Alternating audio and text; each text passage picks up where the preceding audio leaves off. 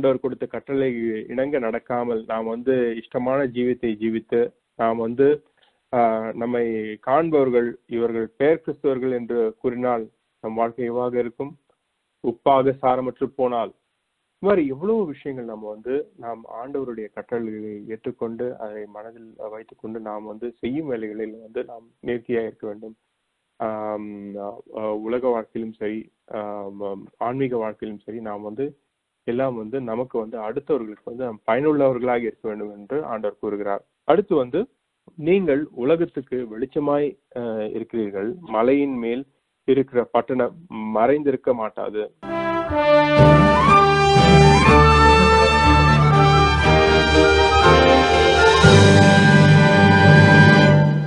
ஆண்டவருக்கு மகிமை உண்டாவதாக. ஆண்டவருக்கு ஸ்தோத்திரம். அவருடைய கட்டளைகளை நான் இன்னைக்கு ஒரு சின்ன ஒரு பிரசங்கமாக நான் தொடுத்து நான் கொடுக்கவிருக்கிறேன். நம்ம வந்து மலை சொற்பொழிவு ஆண்டவர் வந்து மத்திய அதிகாரம் தாம் அதிகாரத்துல வந்து ஆண்டவர் நமக்கு என்ன கட்டளை கூறுகிறார் அப்படின்றது வந்து ஒரு சின்ன ஒரு பகுதியை மட்டும் இன்னைக்கு நம்ம தியானிக்க போகிறோம். இதுல பாத்தீங்கன்னா இந்த மத்திய அதிகாரத்திலோட முக்கியத்துவம் என்னன்னு கேட்டீங்கன்னா இதுலதான் வந்து முக்கியமா பரலோக ராஜ்யத்தை பத்தி பேசப்படுது. த கிங்டம் ஆஃப் ஹெவன் சரிங்களா இப்ப இந்த ஒரு மத்திய அதிகாரத்துல ஒரு ஐந்து டிஸ்கோர்ஸ் சொற்பொழிவுகள் அஹ், ஆண்டவர் ஐந்து. முக்கியமானது வந்து ஒன்று இந்த மலை சொற்பொழிவு. ரெண்டாவது அவர்கள் வந்து அவருடைய சீடர்களை வந்து நியமிப்பது. இந்த ஒரு அவருடைய ஊழியத்தில் நியமிப்பது. அது வந்து அதிகா பத்தாவது அதிகாரம். இந்த ஒரு மலை சொற்பொழிவு வந்து ஐந்தாவதுல இருந்து ஏழாவது அதிகாரம் வரைக்கும். அப்புறம் கதைகள் அந்த ஒரு தே- பரலோக ராஜ்யத்தை குறித்த நீதி கதைகள் அந்த பேரபிள்ஸ் அபவுட் கிங்டம் அது வந்து பதிமூன்றாவது அதிகாரம். அப்புறம் வந்து நமக்கு எவ்வாறு இருக்க வேண்டும் அப்படின்றது வந்து இந்த ஒரு சைல்ட் லைக்னஸ் அது வந்து பதினெட்டாவது அதிகாரம். அப்புறம் ஆண்டவரின் இரண்டாவது வரை இருபத்தி நாலு இருபத்தி ஐந்தாவது அதிகாரம்.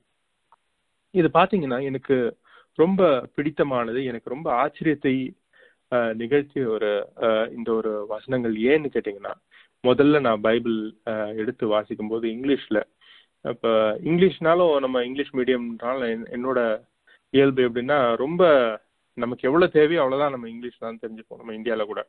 தமிழும் அதே மாதிரி தான் ரொம்ப புலமையெல்லாம் அவ்வளோ கிடையாது. திக்கி தலைவி அந்த ஒரு ஒரு சப்ஜெக்ட் அது ஒரு மார்க் வாங்கணும் அப்படின்ற மாதிரி தான் இருக்கும். அந்த ஒரு தருணத்தில் வந்து ஒரு சின்ன ஒரு பைபிள் ஒரு பாக்கெட் பைபிளில் இந்த ஒரு வசனங்கள் வந்து என்ன ரொம்ப தொட்ட வசனங்கள் ஆண்டவருடைய கட்டளைகள். அது அந்த ஒரு நியூ டெஸ்ட்மெண்ட் புதிய ஏற்பாட்டில் பழைய ஏற்பாட்டு நியாய பிரமாணங்களை உள்ளடக்கிய ஒரு சிறு துணுக்குகள் போல் இருந்தாலும் அது வந்து மனதை வந்து ரொம்ப அது ஒரு ஏன் எதற்கு அப்படின்னு வந்து ஒரு கொஷின் கேட்ட ஒரு தருணங்கள். இப்ப எனக்கு ஆண்டவர் கொடுத்திருக்க கிருபையினால் இப்போ சில இந்த ஒரு வேத இந்த கமெண்ட்ரிஸ் அதன் மூலியமா நாம் வந்து திரும்ப திரும்ப அதை படிக்கும்போது அதோட அர்த்தம் என்ன பொருள் என்ன ஆண்டவர் நமக்கு என்ன கூறுகிறார் வந்து நிறைய தெரிய வருகிறது. இதற்காக ஆண்டவருக்கு ஸ்தோத்திரம். என்ன ஒரு அருமையான கருத்துக்கள் ஆண்டவர் நமக்கு வைத்திருக்கிறார். நாம் கிறிஸ்துவ வாழ்க்கையை வாழும்போது. இப்போ பார்த்தீங்கன்னா நம்மளோட இந்த ப்ரேயரே எடுத்துக்கொள்வோம். முதல்ல ஸ்டார்ட் பண்ணும்போது நம்ம உலகத்திற்காக ஜெபிக்கிறோம். அங்கங்க இருக்கிற அந்த ஒரு ப்ராப்ளம்ஸ்க்காக ஜெபிக்கிறோம். நமக்கு இந்த ஒரு ப்ரேயர் மேலே இருக்க ஒரு அந்த பற்று அந்த ஒரு அந்த ஒரு நம்பிக்கை அதோட பிரதிபலிப்பு அது மட்டும் இல்லாமல் ஆண்டவர் மேலே நம்ம வச்சிருக்க விசுவாசம் அப்புறம் நம்மளுடைய நல்ல கிரியைகள் இது எல்லாமே வந்து கிறிஸ்துவ கேரக்டர் வந்து நம்ம வந்து இது பிரதிபலிக்குது. இந்த ஒரு மத்திய அதிகாரங்களில் பார்த்தீங்கன்னா நான்காவது அதிகாரம் முக்கியமாக எவ்வளவு கோர்வையாய் ஆண்டவர் பிளான் பண்ண மாதிரி பிளான் இது ஒரு ஒரு பர்ஃபெக்ட் பிளானோட ஆண்டவர் வந்து அவருடைய நிகழ்த்த வேண்டிய விஷயங்களை அவர் நிகழ்த்தி கொண்டு வருகிறார். முதல்ல அவர் வந்து யோவான் ஸ்நானரால் ரட்சிக்கப்படுகிறார். அப்புறம் வந்து வனாந்தரத்தில் வந்து அவர் அந்த ஒரு பிசாசினால் அழைத்து செல்லப்படுகிறார். அவர் வந்து ஒரு சோதனைகளுக்கு உட்படுத்தப்படுகிறார். அந்த ஒரு நாற்பது நாள் அந்த ஒரு உபவாசத்தில் இருக்கும்போது அந்த பிசாசானவன் வந்து பாத்தீங்கன்னா முதல்ல வந்து இந்த கல்லை வந்து அப்பமாக மாற்று அப்படின்னு சொல்றாரு. அதுக்கு வந்து அது அதுவும் வந்து பாத்தீங்கன்னா பிசாசானவர் வந்து அந்த வேத வேதத்தையே யூஸ் பண்ணி அதை வந்து டெம் பண்றான். அப்போ ஆண்டவர் வேதத்தை வைத்து என்ன சொல்லுகிறாருன்னா அது அப்பத்தினாலும் ஆகாரத்தினாலும் மட்டும் இல்லை வந்து தேவனுடைய வார்த்தை வாயிலிருந்து புறப்படும் ஒவ்வொரு வார்த்தையினாலும் மனிதன் பிழைப்பான் அப்படின்னு சொல்றாரு. இது என்ன குறிக்குதுன்னு பாத்தீங்கன்னா நம்ம ஆண்டவருடைய அன்பினால் நாம் ரட்சிக்கப்பட்டு அவருடைய ரட்சிப்பை ஏற்று அது ஒரு நீதியின் சால்வையை தரித்து நாம் கிறிஸ்துவ வாழ்க்கையை வாழும்போது நாம் இந்த ஒரு நம்பிக்கை உடையவர்களாக இருக்க வேண்டும். இது ரொம்ப முக்கியம். நம்ம fundamentals of Christian life to lead a successful Christian life we should have faith in God that it's not just by food alone we live it is by every word from which comes out of from the mouth of God you will survive இந்த ஒரு நம்பிக்கை. இப்போ நம்ம உலகப்படியாக அந்த ஒரு அந்த ஒரு இந்த ஒரு பிரமிட் எடுத்துக்கிட்டாலும் நமக்கு வந்து பேசிக் நீட்ஸ் எடுத்துக்கிட்டாலும் இந்த ஃபுட் வாட்டர் இதெல்லாம் வந்து ஆண்டவர் வந்து நமக்கு தருவார். அந்த ஒரு நம்பிக்கை இல்லைன்னா நம்ம அதை தேடி தான் வந்து அலைஞ்சு கொண்டிருப்போம். அப்போ வந்து இந்த கிறிஸ்துவின் வாழ்க்கை அவர் சொல்லியிருக்க கட்டளைகளை வந்து நம்ம வந்து ஒழுங்கா பின்பற்றவே முடியாது. ஃபர்ஸ்ட் நமக்கு வந்து அந்த ஒரு நம்பிக்கை வேண்டும். அதான் வந்து ஆண்டவர் இந்த கட்டளை கூறுவதற்கு முன்னால் அவர் வந்து அவர் ஒரு நமக்கு உதாரணமாய் வாழ்ந்து காட்டுகிறார். அதுக்கப்புறம் அந்த பிசாசனவனுக்கு கூட்டி போய் அந்த ஒரு அந்த ஒரு கோயிலின் கோபுர ப பகுதியிலிருந்து இங்கிருந்து குதி அப்ப வந்து உன்னுடைய கால்கள் வந்து இடராமல் வந்து தேவ தூதர்கள் வந்து உன்னை பார்த்துக் கொள்வார்கள் அப்படின்னு சொல்றார். நீ தேவ பிள்ளையானால் அவர்கள் வந்து பார்த்துக் கொள்வார்கள் அப்படின்னு வந்து டெம் பண்றான். அதாவது ஆண்டவர் நமக்கு இங்க வந்து அவருடைய மினிஸ்ட்ரி அது வந்து ஒரு it's a perfect God's plan அது நிகழ்த்தப்பட்டதானால் இந்த பிசாசானவன் அவன் தோற்கபடி தோற் தோற்கடிக்கப்பட்டான். பாவங்கள் எல்லாம் வந்து ஆண்டவர் வந்து ஏற்றுக்கொண்டார். ஆனால் பிசாசானவனுக்கு வந்து ஒரு பெரிய எதிர்ப்பு கிளம்பி விட்டது அதை அறிந்த பிசாசானவன் முன்னாடி அவரோட பிளான் எல்லாம் வந்து அது வந்து தவிர்க்க பார்க்கிறான். எப்படி? அவர் வந்து ஒரு ஒரு ராஜாவை போல் வருவதாக இருந்தால் ஒரு இல்லை அந்த ஒரு டிவைன் மேஜிக்கல் பவர்ஸோட வந்திருந்தாக்கா அவர் வந்து என்ன பண்ணியிருப்பார் அது மக்கள்லாம் பார்த்து அதை வந்து வியந்து அவர்களை வந்து ஏற்று ஒரு ராஜாவை போல உலகப்படியான ராஜாவை போல வந்திருந்தா அப்படி ஒரு வாழ்க்கையா வாழ்ந்தா இருக்கும். அது மக்கள் அவரை தொடர்ந்து வரும் மக்கள் வந்து ஒரு மாயமான மாயமாலமான ஒரு அது ஒரு பின்பற்றுவதாக தான் இருக்கும். அந்த ஒரு பவர்ஸும் அந்த டிவைன் பவர்ஸ் ஒரு மேஜிக்கல் பவர்ஸ் இதெல்லாம் நோக்கி வர்றவங்களா தான் இருப்பாங்களே தவிர உண்மையான அன்பினால் ஈர்க்கப்பட்டு வர்றவர்களாக இருக்க மாட்டார்கள். ஸோ அதுதான் வந்து ஆண்டவர் வந்து இங்க வந்து நிர்ணயப்படுத்துகிறார்.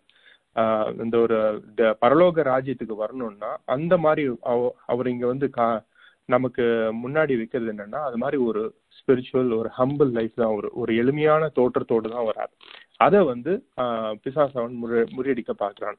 அதுக்கும் சொல்றாரு we should not put lot to kind of kind of test அப்படின்னு uh, சொல்கிறான் இந்த ஒரு அந்த ஒரு ஃபுல் அந்த ஒரு கம்ப்ளீட் ஹாப்பனிங் அந்த ஒரு அந்த ஃபாஸ்டிங் போது ஒரு ஃபார்ட்டி டேஸ் அந்த ஒரு அந்த வைல்டரஸ்ல இருக்கும்போது நடந்தது எல்லாமே எதை வந்து பிரதிபலிக்குதுன்னா இஸ்ரவேலர்கள் இது எகிப்தை விட்டு அவங்க வந்து அந்த வரும்போது அவங்க அந்த டெசர்ட்ல அவங்க பயணிக்கும் போது எவ்வளவு எவ்வளவு இன்னல்கள் அனுபவித்தார்கள் அந்த நேரத்தில் அவங்களுடைய ட்ரஸ்ட் அந்த ஒரு நம்பிக்கை எப்படியெல்லாம் வந்து அவர்கள் வீக் ஆனது அவங்க எப்படி வந்து மோசையை வந்து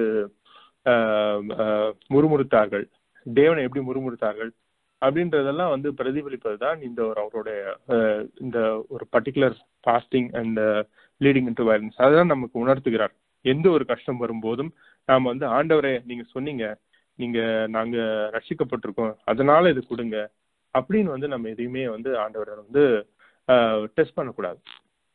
மூணாவது பார்த்தீங்கன்னா அந்த ஒரு மலையின் மேல கூட்டிட்டு போய் இந்த இந்த ஒரு பட்டணத்தையே நான் காலடியில் வைக்கிறேன். நீ எனக்கு பணிந்து கொள் அப்படின்றாரு. அதே மாதிரி தான் நமக்கும் வந்து அந்த ஒரு we should not entertain any thing which displaces our communication with God நம்ம ஆண்டவருக்கு ஈடாக எதையும் கொண்டு வந்து அது ஒரு விக்கிரமாக விக்கிரகமாக ஆக்கக்கூடாது. அப்படின்னு நம்ம வந்து நம்ம ஃபில் பண்ணணும்னு சொல்லியிருக்காங்க. இது not only our the idols we see in our own parent country நம்ம இந்தியாவில் இருக்கிற மாதிரி ஒரு விக்கிரகங்கள் தான் த ஐடல்னு கிடையாது. ஐடல் ஒர்ஷிப் இல்லை. அது நம்ம வேலையாக இருக்கலாம். நம்மளுடைய அந்த ஒரு சுகபோக வாழ்க்கையாக இருக்கலாம். பணமாக இருக்கலாம். நம்ம பதவியாக இருக்கலாம்.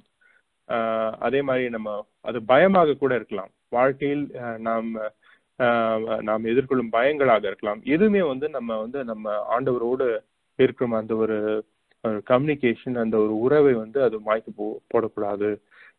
எல்லாவற்றிற்கும் முதன்மையானது கடவுள் தான் அதை தவிர நம்ம எதையுமே வணங்கக்கூடாதுன்றதுதான் வந்து அவர் அதில் பிரதிபலி பிரதிபலிக்கிறார்.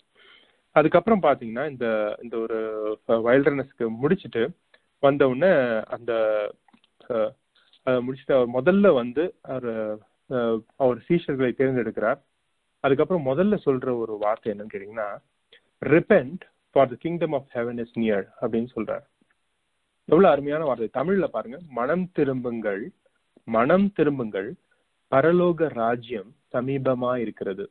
ஏன்னா நம்ம கிறிஸ்துவ வாழ்க்கைக்கு ரொம்ப முதன்மையான படி இந்த ஃபண்டமெண்டல் இஸ் லைக் ரிப்பென்டன்ஸ் நாம் ஏற்கனவே செய்த தவறுகள் நாம் ஏற்கனவே வாழ்ந்த தீய வாழ்க்கை நாம் ஏற்கனவே நாம் அஹ், வைத்துக் கொண்டிருந்த தீய பழக்கங்கள் தீய குணங்கள் இவைகளை வி- மனம் வருந்தி விட்டுவிட்டு நாம் புதிய வாழ்க்கையை தொடங்குவோம் ஆனால் நாம் ரட்சிக்கப்படுவோம். ரட்சிப்பின் மு- முதலாவது அந்த ஒரு இயல்பு வந்து நம்ம we have to repent for what sins we done அது ரொம்ப முக்கியம். ஸோ அது அந்த ஒரு ஸ்டேஜ் இப்போ பார்த்தீங்கன்னா முதல்ல வந்து அவர் நமக்கு ஒரு எடுத்துக்காட்டாய் விளங்குறார்.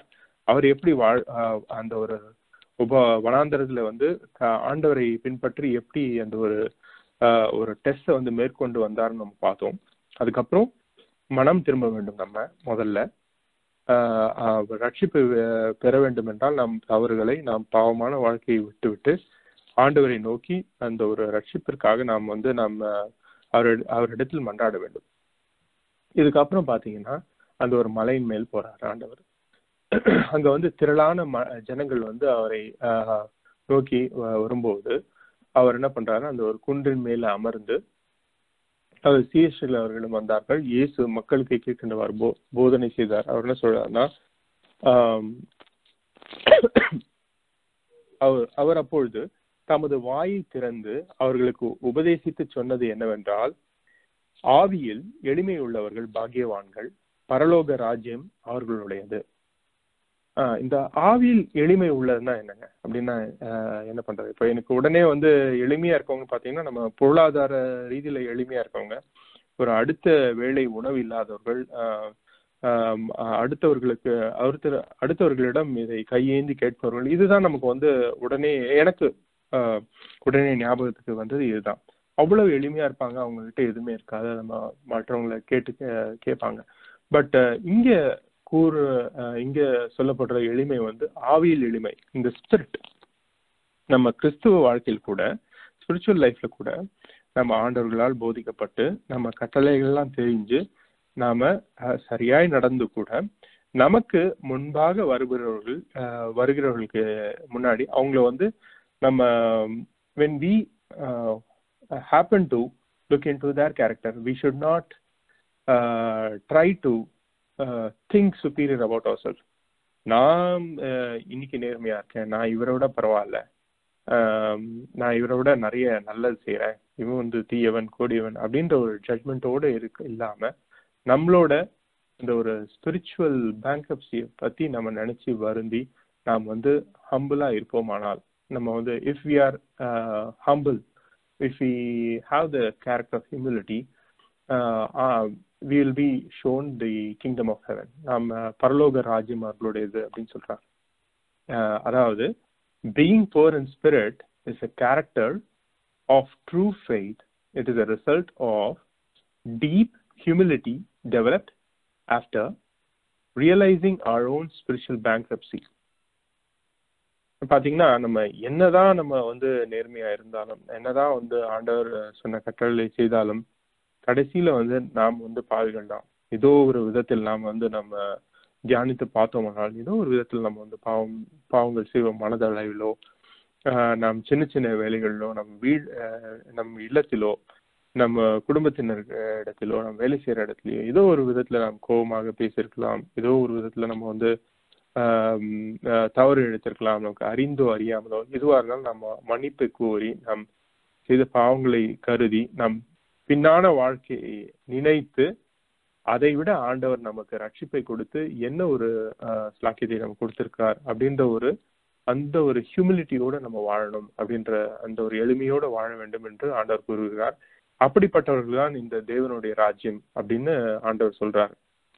இதுல பாத்தீங்க மத்த இருபது வரைக்குமே ஐந்தாவது அதிகாரம் ஒன்றிலிருந்து பதினேழு வரைக்கும் பத்தொன்பது வரைக்கும் இந்த தேவனுடைய ராஜ்யத்தை குடியுரிமை பெறுவது எப்படி? இந்த தேவனுடைய ராஜ்யத்தின் பிரஜைகளாவது எப்படி? அப்படின்றதான் ஆண்டவர் முழுமையாக சொல்லுகிறார் ஏன்னா நமக்கு இது இதுக்கு வந்து பாத்திரம் பாத்திர பாத்திரமானவர்கள் கிடையாது. நமக்கு வந்து நாம் பாவிகள் நாம் வந்து இதற்கு அருகதையற்றவர்கள். ஆனால் ஆண்டவர் வந்து தன் அன்பின் நிமித்தம் அவர் நம் மீது கொண்ட அன்பின் நிமித்தம் இவர் வந்து அவர் வந்து நமக்கு இந்த ஒரு ரட்சிப்பை கொடுத்திருக்கார். அப்படின்ற அப்படின்ற ஒரு விஷயத்தை நம் உணர்வோ உணர்ந்து கொண்டவர்களாக இருக்க வேண்டும் அப்படின்றது தான் இது சொல்றது அடுத்து பாத்தீங்கன்னா இம்மையில் துக்கம் ஆவில் துயரப்படுகிறவர்கள் பாக்கியவான்கள் அவர்கள் ஆறுதல் அடைவார்கள். இது ஆங்கிலத்துல பாத்தீங்கன்னா blessed are those who mourn for the will be comforted இதை நான் முதல்ல படிக்கும்போது பாத்தீங்கன்னா என்ன தோணுச்சுன்னா என்ன இப்ப நம்ம ரொம்ப மன வருத்தத்தோட தான் இருக்கணுமா எப்பவுமே? வாழ்க்கைய. மோன் அப்படின்னு சொல்றாங்களே துக்கம் அடைந்த மனிதர்கள் அப்படின்னு சொல்லணுமே. நீதிமொழியில பாத்தீங்கன்னா மன ரம்யம் ஒரு ஒரு நல்ல ஔஷதம் அப்படின்னு சொல்லியிருக்கோம். அது ஏன் இது ஏன் கான்ஃபிளிக்டிங்கா இருக்கு? அப்படின்னு நான் யோசிக்க ஆரம்பிச்சேன். அப்போ வந்து அந்த ஒரு கமெண்ட்ரி எனக்கு இதெல்லாம் வந்து எக்ஸ்பிளைன் பண்ணாத ஒரு காலத்துல யோசிச்சேன். இப்போ வந்து அதை பார்க்கும்போது என்ன சொல்றாங்கன்னா இந்த ஸோ இந்த ஒரு துக்கமானது எப்படிப்பட்டது என்றனா தெய்வீக துக்கம். அந்த துக்கம் எப்படி வருதுன்னு கேட்டீங்கன்னா நம்ம தவறுகளை நினைத்து நாம் வருந்த வேண்டும் அப்படின்னு தான் ஆண்டவர் சொல்றாரு. ஸோ இந்த ரெண்டு குருந்தியர்கள் ப- ஏழாவது அதிகாரம் பத்தாவது வசனத்துல என்ன சொல்றாங்கன்னா godly sorrow brings repentance living no regret and ultimately leaves to salvation but the worldly sorrow leads to death அப்படின்னு சொல்றாங்க. ஏன்னா உடனே வந்து நம்ம முதல்ல படிக்கும்போது அதோட அர்த்தத்தை புரிந்து கொள்ளாம படிக்கும் blessed ஆஃப் தோஸ் who மோன் அப்படின்னா நம்ம துக்கமோ துக்- துக்கமாகவே இருக்கணுமா? நம்ம இந்த உலகத்துல இருக்க காலம் ஃபுல்லா துக்கமாவே இருக்கணுமா? நம்ம உலக பிரகாரமான அந்த அறிவியல் பூர்வமான அந்த ஒரு மருத்துவத்துல பாத்தீங்கன்னா அது ஒரு டிப்ரெசிவ் ஸ்டேட்னே சொல்றாங்க. அப்போ மோன் அப்போ இந்த துக்கமா இருக்கிறது இட் லீட்ஸ் டு டிப்ரெஷன் அப்ப நம்ம இப்படிதான் இருக்கணுமா அப்படின்னு யோசிக்கும் போது இல்ல. அது எப்படின்னா நாம் நம் தவறுகளை நினைத்து நாம் வருந்த வேண்டும். தெய்வீக அந்த வருத்தம் வேண்டும் ஆண்டவன் ஆண்டவரின் கட்டளைக்கு இணங்க நாம் நடக்காவிட்டால் நாம் தவறை இழைத்தால் அதை நினைத்து நாம் வருந்த வேண்டும். அந்த துக்கம் நமக்கு இருக்க வேண்டும். அப்படி இருந்தால்தான் திரும்பவும் அந்த தவறை செய்யாமல் இருப்போம் அப்படின்னு சொல்றதுதான். அந்த ஒரு துக்கம் இருந்தால்தான் ஆண்டவரின் ரட்சிப்பை நாம் பெறுவோம். ஆண்டவர் வந்து நம்ம தவறுகளை மன்னித்து நாம் இரக்கம் பெறுவோமானால் நாம் மன்னிப்பு கேட்போமானால் நாம் மன்னிக்கப்படுவோம். அந்த ஒரு ரட்சிப்பு நமக்கு கிடைக்கும். அந்த ஒரு அந்த ஒரு ஞானஸ்நானம் பெறுவது என்பது அந்த ஒரு ரட்சிப்பு என்பது அது ஒரு முறை நடக்கும் சடங்காச்சாரம் அல்ல. அது வந்து எப்படின்னு கேட்டீங்கன்னா ஒவ்வொரு நாளும் ஒவ்வொரு தினமும் ஒவ்வொரு பொழுதும் வந்து நம்ம செய்யற செயல்கள் எல்லாமே வந்து ஆண்டவருக்கு உகந்ததாக இருக்க வேண்டும். அது நம்ம கான்சியஸா இருக்கணும். ஒருவேளை நாம் அதை மீறினால் அதை ஆண்டவருக்கு எடுத்து செ- கொ- கொண்டு சென்று நாம் அதுக்கு வருந்தி நாம் மன்னிப்பு கேட்பவர்களாக இருக்க வேண்டும். அதற்கு நாம் வருந்த வருந்த வேண்டும். It just reflects we should be very sensitive for our uh, wrong commitments or wrong uh, uh, mistakes we uh, commit or the mistakes we commit. அந்த அளவுக்கு நம்ம சென்சிட்டிவா இல்லைன்னா அது ஆமா எல்லாருமே பண்றாங்க. விடுங்க அது நடந்து போச்சு என்ன பண்றது? இந்த உலகத்துல நம்ம வந்து கடைசி காலத்துல இருக்கோம். என்ன பண்ண முடியும்? நம்ம ஒன்றும் பண்ண முடியாது. இப்போ நம்ம இந்- இந்திய நாட்டிலே எடுத்து பாருங்க. ஒரு நார்மலா ஒரு ஒரு கடைநிலை ஊழியர்களோ ஒரு நடுத்தர மக்களோ ஒரு வீடு கட்டுவதாக இருந்தாலும் ஒரு ஒரு பத்திரத்தை பதிவு செய்வதாக இருந்தாலோ எதை செய்வதாக இருந்தாலும் வந்து அவர்கள் வந்து அந்த ஒரு ஊழலில் சிக்காமல் இருக்கவே முடியாது. ஏதோ ஒரு விதத்தில் அவர்கள் வந்து அவர்கள் வந்து at least they will be passively involve அந்த ஒரு நேரத்தில் வந்து நம்ம அந்த சென்சிட்டிவா இல்லை அப்படின்னா சின்ன சின்ன விஷயங்கள் எவ்வளவு மலிவாக பரவிட்டு இருக்கும் பாருங்க. அந்த நம்ம நம்ம ஊர்ல நம்ம இந்திய நாட்டுல. அத it has become part of the system so அது மாதிரி நம்ம அந்த சின்ன சின்ன விஷயங்களுக்கு ஒவ்வொருவரும் வருந்துவார்கள். ஆனால் அதை இழைப்பவர்கள் அதற்கு உடந்தையாக இருப்பவர்கள் அது வருந்தி அது திருந்துவார்கள். ஆனால் நாடே திருந்திவிடும். இது ஒரு ஒரு ஒரு ர- ஒரு புது அரசாங்கத்தினாலோ ஒரு அரசியல் ஒரு தலைவர்னாலோ இதை வந்து ஒரு திருத்தவே முடியாது. ரொம்ப மேன்மையான அரசியல்வாதியினாலோ அவர்கள் ஊழியர்களாலோ வந்து இதை திருத்த முடியாது. ஒரு சிஸ்டம் அது வந்து மக்களாகிய நாம் நாம் திருந்துவோமானால் நாம் வந்து இது மாதிரி ஒரு நாம் செய்யும் தவறுகளை நினைத்து நாம் திருந்துவோமானால் நாம் நம் வாழ்க்கையில் மேம்படுவோம்.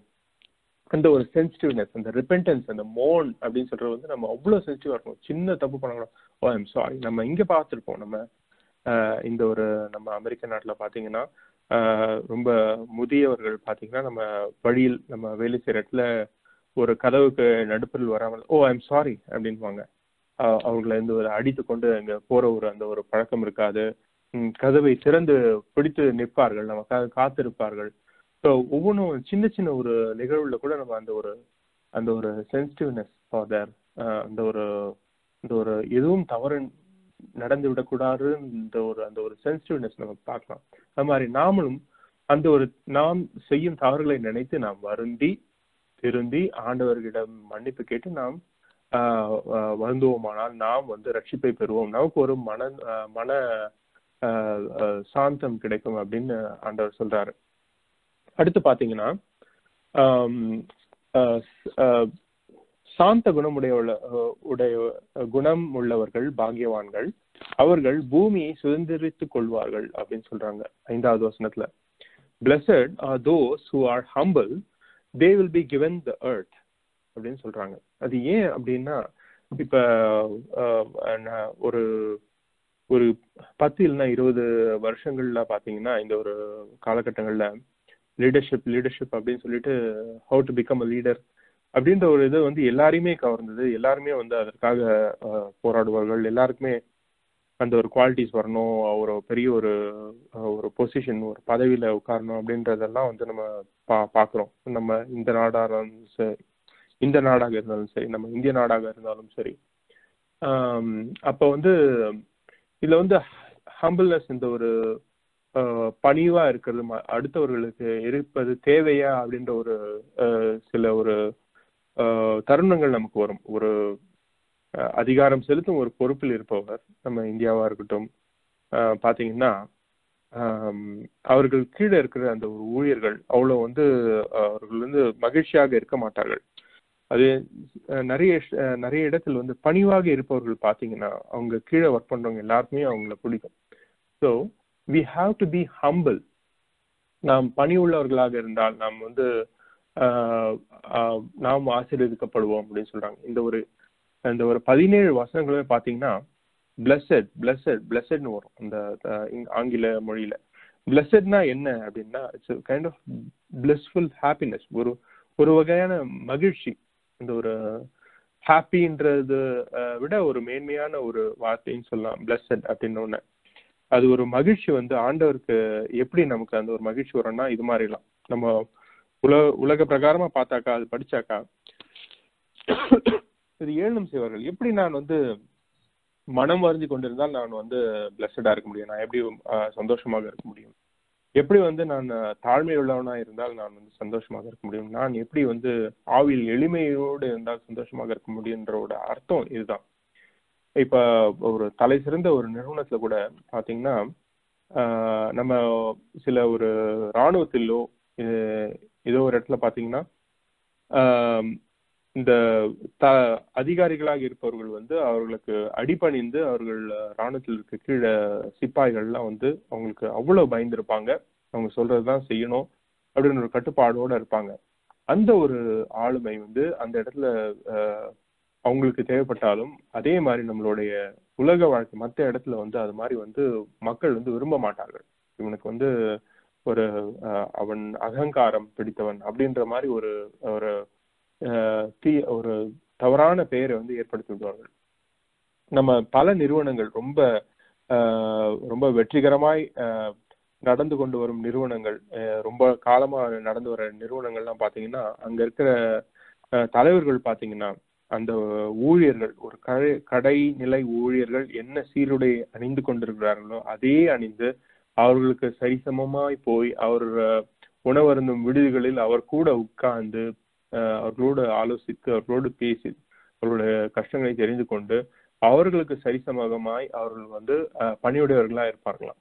இங்கேயும் பாத்தீங்கன்னா நிறைய பேர் அந்த ஒரு லீடர்ஷிப் பொசிஷன் இருக்கவங்க ரொம்ப வயிறு முதிர்ந்தவர்கள். அடுத்தவர்களை வந்து ஆணை செலுத்தாமல் அவர்கள் வந்து ரொம்ப பணியுடையவர்களா இருக்கும்போது தான் எல்லாருக்குமே பிடிக்கும். அவர்களை தான் அவர்கள் வந்து ஒரு அவர்களுடைய தலைவர்களாக ஏற்றுக்கொள்வார்கள். அது மட்டும் இல்ல நம்ம இதுலயும் பாத்தீங்கன்னா நம்ம இந்த ஒரு வசனத்திலையும் ஆண்டவர் அதான் சொல்றாரு. Blessed are those who are humble they will be given the earth ah இப்ப இந்த ஒரு இந்த ஒரு நம்ம மனோதத்துவ ரீதியில கூட பாத்தீங்கன்னா இந்த லீடர்ஸ் அப்படின்னு இருக்கும்போது ஒரு ஒரு நாட்டில் இருக்க எல்லா பிரஜைகளுமே நான் ராஜாவாக வேண்டும் என்று நினைத்தால் நாடு என்ன ஆகும்? ஒரு பெரிய ஒரு குழப்பத்தில் போயிடும். எல்லாருமே வந்து நான் வந்து தலைவராகணும் நான் வந்து தலைவராகணும் அப்படின்னு நினைச்சாங்க அந்த ஒரு நடத்துதல் இருக்கிற குவாலிட்டிஸ் இருக்கவங்க தான் அந்த லீடர்ஷிப் பொசிஷன்ல உட்கார முடியும். அவர்கள் தான் வந்து வெற்றிகரமாய் நாட்டை வந்து நடத்தி செல்ல முடியும் ஆண்டவருடைய கிருபையோடு. ஆனால் எல்லாருமே வந்து நம்ம வந்து அந்த ஒரு ஹியூமிலிட்டி இல்லாம நம்ம வந்து இல்லை நான் வந்து லீடர்ஷிப் பொசிஷன் தான் வேணும். நான் வந்து இவனை விட நிறைய எனக்கு செல்வம் இருக்கு. இவனை விட எனக்கு நிறைய தகுதிகள் இருக்கு. இவனை விட எனக்கு படிப்பு நிறைய இருக்கு. அப்படின்னு நம்ம வந்து அந்த ஒரு பணிவு இல்லாம இருந்தால் அது வந்து நன்மையை பயக்காது. அது வந்து நமக்கு நாம் இருக்கும் இடத்திற்கு நாம் இருக்கும் வேலை செய்யும் இடத்திற்கு நாம் பதவிக்கு ஊறு விழுவெடுத்து ஊறு விளை விளைவிக்கும் என்பதுதான் வந்து ஆண்டவர் இங்க வந்து சொல்றாரு. அடுத்து வந்து பாத்தீங்கன்னா மற்ற எதை காட்டிலும் நீதியான செயல்களை செய்ய விரும்புகிறவர்கள் ஆசீர்வதிக்கப்பட்டவர்கள் அவர்கள் முழு திருப்தியை தேவன் அளிப்பார் அப்படின்னு அடுத்த வசனத்துல சொல்றாரு. என்னன்னா நீதியின் மேல் பசி தாகம் உள்ளவர்கள் பாக்கியவான்கள் அவர்கள் திருப்தி அடைவார்கள். இது படிக்கும்போது என்ன ஆச்சுன்னு கேட்டீங்கன்னா நம்ம இந்த ஆங்கிலத்துல என்ன சொல்றாங்கன்னா blessed are those who hunger and thirst for righteousness for they will be filled இதை நம்ம நம்ம இதே ஒரு கோரிலேஷன் எங்க பார்க்கறோம்னா அந்த ப- வந்து அவங்க வந்து நீதியின் மேல் ரொம்ப ஸ்ட்ராங்கா இருந்து ஆர்த்தடாக்கா இருக்கிறது. அப்ப ஏன் இது வந்து அதுக்கு கான்ட்ரடிக்டரியா இருக்கு அப்படின்னு ஒரு கேள்வி நமக்குள்ள எழும்போது இருக்கலாம். அதாவது பரிசெயர்களும் இருக்காங்க. அவங்க நீதி அவங்களோட கோட்பாடுகளை வந்து அவங்க வந்து ஸ்ட்ராங்கா இருந்து ஞாயிற்றுக்கிழமையில ஞாயிற்றுக்கிழமையில் நீங்க வந்து இங்க இந்த வேலையை செய்யக்கூடாது. இது மாதிரி நடக்கக்கூடாது. எவ்வளோ கோட்பாடுகள் யூதர்கள் வந்து கோட்பாடுகள் இருக்கு. அது அவங்களும் வந்து அவங்க சரியாய் பின்பற்றுகிறார்கள் இல்லையா? கட்டளை மோசை கொடுத்த கட்டளைகள். அதுக்கும் இதுக்கும் என்ன வித்தியாசம் இருக்கிறது அப்படின்றது கேள்வி நமக்கு வருது. ஏன்னா ஆண்டவர் வந்து அது மாதிரி ஒரு கண்மூடித்தனமாக பின்பற்றுவதை வந்து புறக்கணிக்கிறார். அப்படி இருக்கும்போது ஆண்டவர் இது ஏன் சொல்றாரு. பசிதாகமாக இருக்க வேண்டும் அப்படின்னு ஏன் சொல்றாரு? அப்படின்னா நம்ம முதல்ல வந்து it direct our selves to be righteous நம்ம எதை செய்வோம் ஆகிலும் அதை வந்து நாம் வந்து உகந்ததாக உகந்ததா இருக்க வேண்டும். எதை செய்தாலும் நீதியான செயல்களை செய்ய வேண்டும் அப்படின்னு சொல்றாரு. நீதி என்பது அது ஒரு கோட்பாடுகளில் கோட்பாடுகளில் எழுதி வைக்க வ- எழுதி வைக்கப்பட்டதை போல நடப்பது மட்டுமல்ல அது முக்கியமாக அன்பின் வழி நடக்க வேண்டும். அது அந்த கட்டளையே வந்து அன்பை நிலைநாட்டுவதுதான். எந்த கட்டளையாக இருந்தாலும் நியாயமாக இருந்தாலும் அதை வந்து மீறி தவறுதலாய் அதை வந்து நம்ம வந்து செயல்படுத்தக்கூடாது. ஒவ்வொரு த- ஒவ்வொரு தடவையும் நாம் வந்து செய்யும் வேலையை வந்து அதை விட மேன்மையாக செய்ய வேண்டும். நாம் தேவனுடைய ராஜ்யத்தில் கூட நாம் ஸ்பிரிச்சுவல் லைஃப்ல கூட அதே மாதிரி தான் it's not just by the worldly following of the Bible நாம் அவர் அளித்த அன்பு அவர் கொடுத்த ரட்சிப்பு நாம் ஒவ்வொருவரையும் கான்சியஸா அதை வந்து நாம் எவ்வாறு நாம் வந்து ஆஹ், சரியான நேர்த்தியா நேர்த்தியானதாய் நாம் வாழ்க்கையை நாம் எவ்வளவு எவ்வாறு வாழ்கிறோம் என்பது பொறுத்துதான் இருக்குது அப்படின்னு ஆண்டவர் சொல்றாரு sins they did not know the righteousness of God and sought to establish their own, they did not submit to God's righteousness. இது ரோமர்களின் அதிக பத்தாவது அதிகாரம் மூன்றாவது வசனத்துல தான் சொல்லுது. அதாவது பரிசெயர்கள் வந்து அவர்கள் வந்து ஆண்டவருடைய நியாயத்தை அறியாதபடியினால் அவர்களே வந்து நியமித்த ஒரு கட்டளைகள் அவர்களை வந்து பின்பற்றி அதை பற்றி அதன்படி சரியாக நடக்க வேண்டும் என்று அது முயற்சிக்கிறார்கள் அப்படின்னு சொல்லுது. இப்போ இப்ப இந்த ஒரு ரைட்டியஸ்னஸ் எதெல்லாம் நமக்கு தேவைப்படுது? நான் இப்ப சொன்ன மாதிரி நம்ம உலக பிரகாரமா பிரகாரமான வாழ்க்கை நம்ம இந்திய நாட்டில் இருக்கிற அந்த ஒரு அரசியல் ரீதியான ஒரு அந்த ஒரு விஷயங்களாக இருக்கட்டும் நாம் செய்யும் வேலைகளாக இருக்கட்டும் ஒவ்வொரு தினமும் நாம் கான்சியஸா இல்லைன்னா நாம் செய்யற வேலை வந்து நம்ம ஒழுங்கா செய்யறோமா அப்படின்னு கான்சியஸா இல்லைன்னா will try to get diluted நம்ம வந்து அந்த ஒரு வேலையை வந்து நம்ம முழு திருப்தியோடு நம்ம வந்து செய்ய முடியாது. அந்த ஒரு அந்த வேலையில் திருப்தி இருக்காது. நம்ம செய்யும் போது அது ஒரு சின்ன வேலையாக இருந்தாலும் அதை ஒழுங்காக செய்யணும். நாம் ஒரு கொடுக்கப்பட்ட வேலை சின்ன வேலையாக இருந்தாலும் அது நம்ம நமக்கு கொடுக்கப்பட்ட ஊழியம் சின்ன ஊழியமாக இருந்தாலும் அது ஒருவேளை நம்ம ப பக்கத்து வீட்டில் வந்து ஒருவர் ஒருவரிடத்தில் நலனை விசாரிப்பதாக இருக்கட்டும். இந்த நாட்டில் பார்த்தீங்கன்னா முக்கியமாக வந்து முதியோர்கள் வாழ்ந்துகிட்டு இருப்பாங்க. அவர்களுக்கு அவர்களிடத்தில் வந்து நம்ம வந்து பிரசங்கிக்க வேண்டும் என்பதை விட முக்கியமானது வந்து அவர்கள் வந்து நலமாக நலமா இருக்கிறார்களா? பக்கத்து வீடாக இருக்கலாம். நெய்பர்ஸ் அவங்க அவங்க அவங்களுக்கு ஏதாவது உதவி தேவைப்படுமா? ஒருவேளை பனி இங்கே பொழிவு இருக்கும்போது அவங்களுக்கு ஏதாவது அவங்களுக்கு ஹெல்ப் வேணுமா? இப்படின்னு ஒரு கேட்குற விஷயமா இருக்கலாம். How we are righteous in those situations நம்ம ஒரு இங்கே செய்கிற வேலைகள். இதெல்லாம் வந்து எவ்வளோ வந்து நம்ம வந்து சரியாக செய்கிறோம் என்று நம்ம எப்படி பரிசீலிக்க வேண்டும் என்றத குறித்து தான் ஆண்டவர் இதை வந்து சொல்றாரு. அதே மாதிரி நம்மளுடைய ஸ்பிரிச்சுவல் லைஃப்லயும் நாம் வந்து ஆண்டவர் சொன்ன கட்டளை கட்டளையின்படி நடக்கிறோமா அப்படின்ற ஒரு கான்சியஸ்னஸோட அதை விட நாம் திருந்த வேண்டும் அப்படின்ற ஒரு ரைட்டியஸ்னஸ் அந்த ஒரு இதோட வாழணும் அப்படின்னு ஆண்டவர் சொல்றாரு. அதுக்கப்புறம் பாத்தீங்கன்னா இந்த- இந்த விஷயத்த குறித்து நான் ஒன்று உங்களுக்கு சொல்ல விரும்புறது என்னன்னு கேட்டிங்கன்னா இப்போ ஒரு புத்தகம் வந்து நான் அண்மையில் த- வந்து நான் I came across a book call the Toyota management அப்படின்னு. நமக்கு வந்து இந்த ஒரு டொயோட்டா கார் பற்றி நமக்கு எல்லாருக்குமே நம்ம சவுத் ஏஷியன்ஸ்க்குலாம் நிறைய தெரியும். இங்கே வர்றவங்க முக்கியமாக வந்து அந்த இது மாதிரி ஹோண்டா டொயோட்டா கார்லாம் வாங்குறதெல்லாம் பார்த்துருக்கோம். அது ஏன் அப்படின்னா அது மோர் ரிலையபிள் அப்படி வந்து நமக்கு அது வந்து ரோட்ல எங்கேயும் வந்து நமக்கு வந்து இட் இல் நாட் ஃபெயில் அப்படின்ற ஒரு விஷயத்துக்காகவே வாங்குவாங்க. முக்கியமா நம்ம மக்கள் இங்க வரும்போது அவர்களுக்கு ரொம்ப பணம் இருக்காது. ரொம்ப செலவு செய்ய முடியாது. இன்னொரு கார் மேல இன்னொரு கார் வாங்க முடியாது. ஒரு கார் நல்ல ஒரு காரா வாங்கலாம். ஒரு ரொம்ப தேர்ச்சியான ஒரு காரை வாங்கலாம். அது ஒரு நல்ல ஒரு குவாலிட்டியான காரை வாங்கலாம்.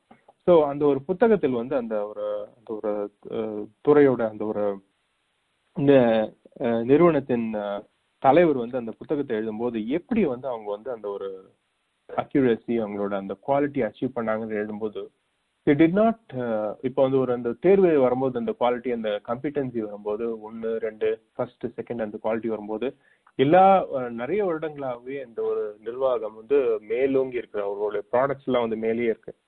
அது எதனாலன்னு அவங்க எப்படி சொல்றாங்கன்னா அவங்க நிர்வாகத்துல ஒரு ஒரு கடைநிலை ஊழியர் கூட இது ஒண்ணு சரியில்லை அப்படின்னு சொல்லி ஒரு அந்த ஒரு ப்ராசஸையே வந்து அவங்களால நிறுத்தக்கூடிய ஒரு அவங்களுக்கு ஒரு வந்து பவர் இருக்குமா? இது ஒரு ஆளுநரோ ஒரு தலைவரோ ஒரு சூப்பர்வைசரோ கிடையாது. ஒரு சின்ன ஒரு ஊழியர் கூட இது சரியா நடக்கல இதனால இதை நிறுத்திட்டு இதை வந்து கரெக்ட் பண்ணுவோம் அப்படின்ற ஒரு உரிமை எல்லாருக்குமே இருக்குமா? அப்படி என்ன ஆகுமா? ஒவ்வொரு நாளும் அவர்களுக்குள்ள இருக்கிற தவறுகள் அந்த ஒரு நிர்வாகத்திற்குள்ள இருக்கிற தவறுகள் அந்த ஒரு பிரச்சனைகள் அதனால வர அந்த ஒரு அவங்க ப்ராடக்ட்ஸ்ல வர கோளாறுகள் எல்லாவற்றையும் அவ்வப்பொழுது அவர்கள் திரித்து கொண்டே இருப்பார்களாம். இது பாருங்க வருடம் போக போக அவங்களுக்கு வந்து கம்பீட் பண்றதுக்கு அவங்க தானா? They only compete with their previous standards it's not anybody down their line அது மாதிரி நம்ம வந்து if we try to be righteous in terms of what we do in our own spiritual life அடுத்தவங்களை judge பண்ணாம நாம் நான் ஆண்டவரை நோக்கி uh, பயணிக்கும் பயணத்தில் வந்து இன்னும் வந்து தேர்ந்தவர்களாக இன்னும் நீதியான செயல்களை செய்பவர்களாக இருப்போமானால் நாம் இன்னும் uh, ஆண்டவர் uh, um, சொன்ன கூறிய கட்டளைகளை வந்து நம்ம பிரதிபலி பிரதிபலிப்பவர்களாக இருப்போம் என்று ஆண்டவர் சொல்றாரு. அதுக்கப்புறம் அடுத்து என்ன சொல்றாங்க கேட்டீங்கன்னா இரக்க குணமுடையவர்கள் பாக்கியவான்கள் அவர்கள் இரக்கம் பெறுவார்கள். Blessed are those who are merciful for they will receive mercy அப்படின்னு ஐந்தாவது அதிகாரம் ஏழாவது வருஷத்துல சொல்லுது. இதுக்கு நம்ம ரொம்ப எடுத்துக்காட்டு சொல்ல வேண்டியதில்லை. ஒரு நல்ல சமாரியனோட எடு எடுத்துக்காட்டா இருக்கட்டும் பைபிள்ல.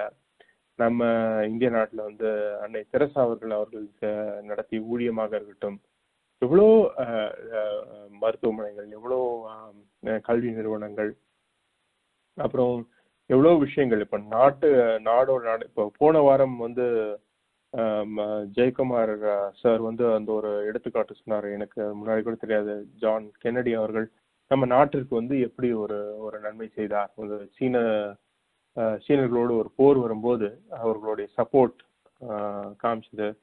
அதே மாதிரி நம்ம வேதாகமத்திலேயே பார்த்தீங்கன்னா அந்த ஒரு தோட்டக்காரன் வந்து ஆண்டவரிடத்திலிருந்து ஒரு மன்னிப்பை பெற்று தனக்கு கொடுக்க வேண்டிய ஒரு அந்த ஒரு பொருளை வந்து அது மன்னிக்கப்பட்டு அதோட அதை அந்த மன்னிப்பை கொடுத்தும் கூட அந்த தோட்டக்காரன் அவர்களுடைய ஊழியர்களிடத்தில் ரொம்ப கடி கடிந்து இருக்கிறான்.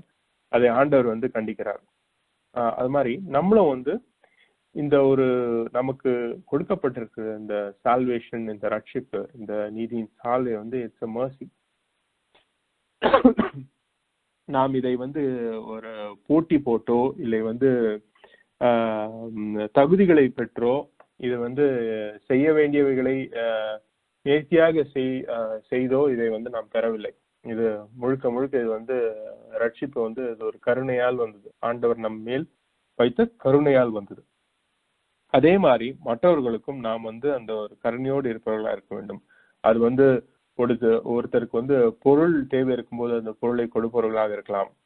அது வந்து ஒருத்தருக்கு வந்து ஏதோ ஒரு உதவி தேவையா இருக்கலாம். நமக்கு வந்து வேலை செய்யற இடத்துல வந்து அவங்க ஒரு எக்ஸ்பீரியன்ஸ்க்கு ஹெல்ப் கேட்கும்போது அவங்க நம்ம செய்யற உதவியாக இருக்கலாம். அப்புறம் நம்ம எவ்வளோ விஷயங்கள் நம்ம வந்து மர்சிஃபுல்லா இருக்கணும்? அதே மாதிரி ஒருத்தர் ஜட்ஜ் பண்ணும்போது நான் அவ- எவ்வளோ எவ்வளோ தவறுகள் இழைத்தாலும் வந்து அதை வந்து நம்ம மன்னித்து இறக்கமுள்ளவர்களாக இருக்க வேண்டும். நம்மளுடைய சபார்டினேட்ஸ் நம்மளுடைய ஸ்டூடெண்ட்ஸ் அதே மாதிரி நம்ம பெற்றோர்கள் ஏன் நம்மக்குள்ளேயே நம்ம வீட்டுக்குள்ளேயே இருக்கிறவர்கள் அவர்களோட செய்கிற சின்ன சின்ன தவறுகளை நாம் மன்னித்து நாம் வந்து இரக்கம் உள்ளவர்களா இருக்க வேண்டும். அப்படி இருந்தால்தான் ஆண்டவரும் நம்மளை மன்னிப்பார். ஏன்னு பாத்தீங்கன்னா இது வந்து நம்ம ஒரு சிறு பிள்ளைக்கு கூறுற மாதிரியே இருக்கு சொல்ற மாதிரியே இருக்கு பாருங்க. நம்ம வந்து உலக பிரகாரமான வாழ்க்கையில் வாழும்போது இந்த ஒரு சைக்கலாஜிக்கலி எல்லாமே வந்து ஒரு ஒரு ரிவார்டு இல்லாமல் நம்ம எதுவுமே பண்ண மாட்டோம்.